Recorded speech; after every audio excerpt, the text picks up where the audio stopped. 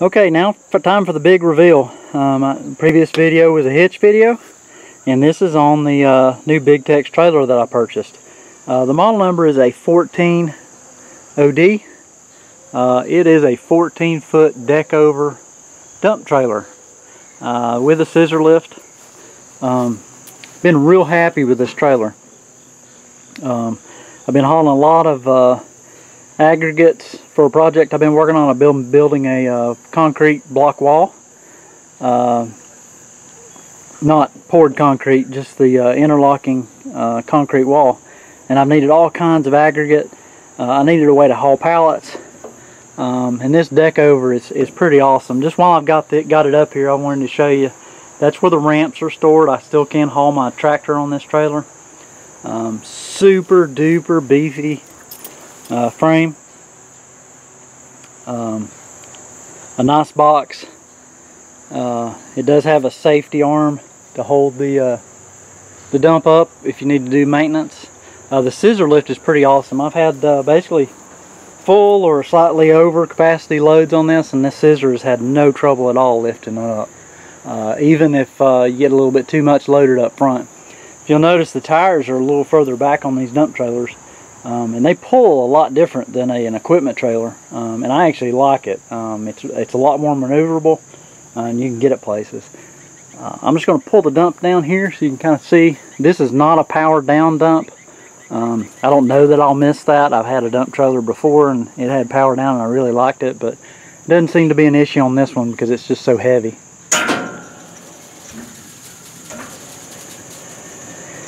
Controls just a nice little industrial plastic uh, push button.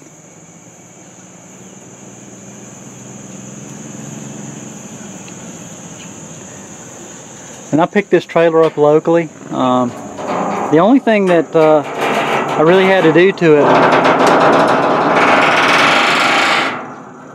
it, it does not come with a, uh, a tarp. Uh, I, I, did buy it from that, that, that local dealer.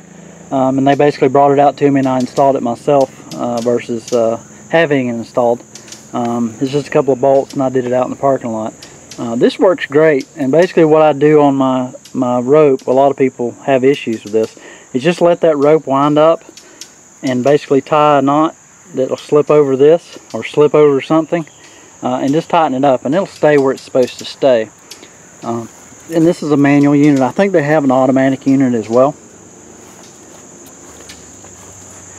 And just kind of give you an idea of the uh, the size of this. I'm going to back up here. Just kind of give you a shot. It's basically a little bit, about the same size as a truck, I guess, other than the tongue. Uh, but it pulls nice, even fully loaded.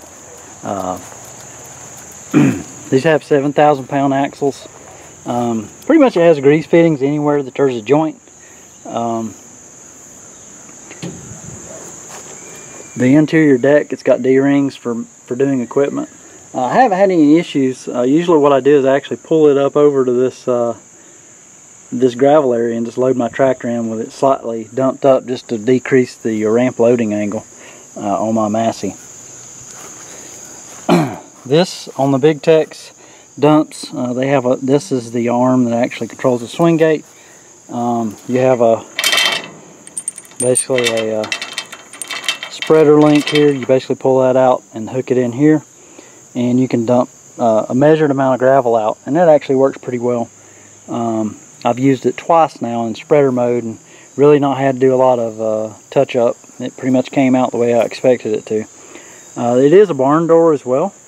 Uh, so the gate will actually swing outward with a spreader set up and this is the latch for that. With this closed you can see the uh, joints here um, you can basically pull this off. This is really hard to do with one hand. And just really simple cam lock style. Um, you got a cam on the bottom and a cam on the other door. Uh, this does, does open up completely flat. And basically what you end up with is sides fold down too.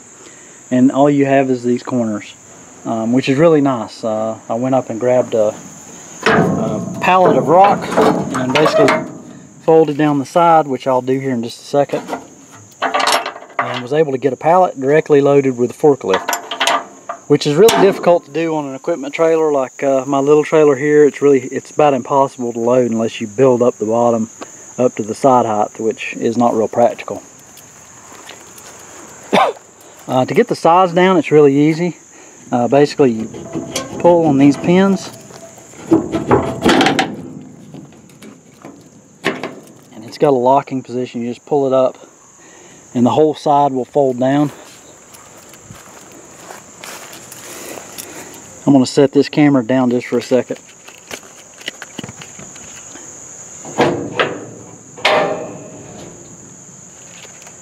Okay, so we've got the side detached now, uh, and it just folds down. It's really easy to do.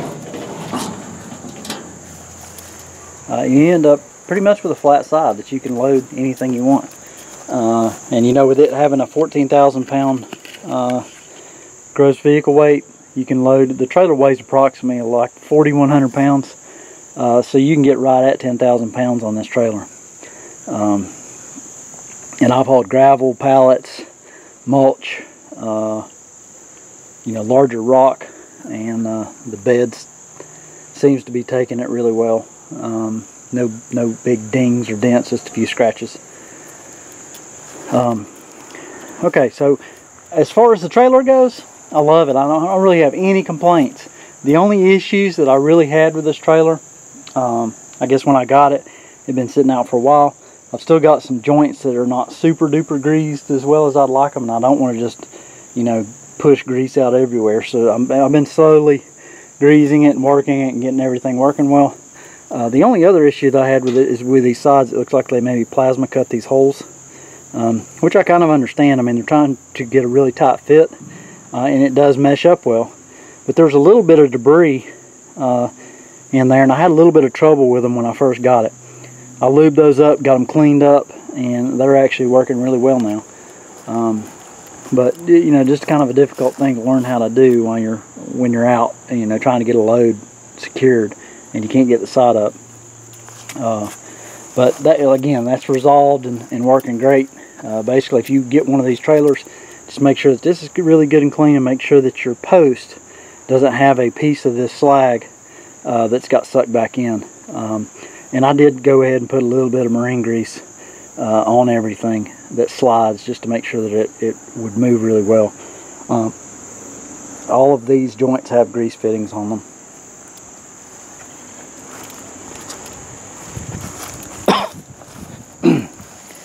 Again, this is just the other side of the trailer. Big Tex uh, 14OD.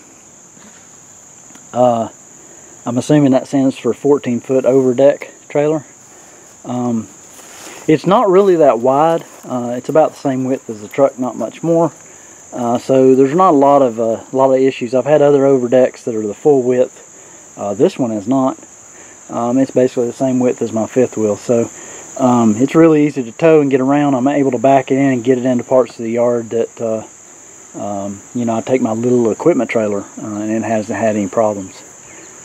Um, as far as securing loads, basically I go into the gravel yard, uh, they dump the load, I go to the weigh scale, pull right outside and pull my tarp over and attach it.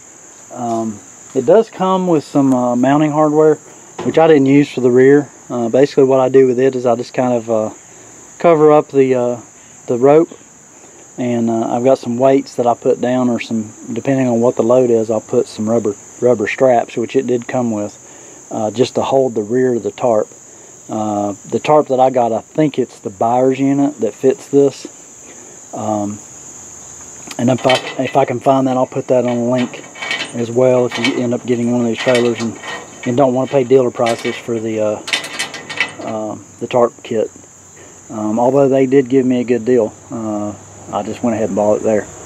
Anyway, I hope you like the videos, and uh, this is kind of what I've been doing the last month. Um, been building a concrete wall. I'll try to go up when I when I get done here and uh, uh, take a quick shot or a quick video of uh, kind of where I'm at with it.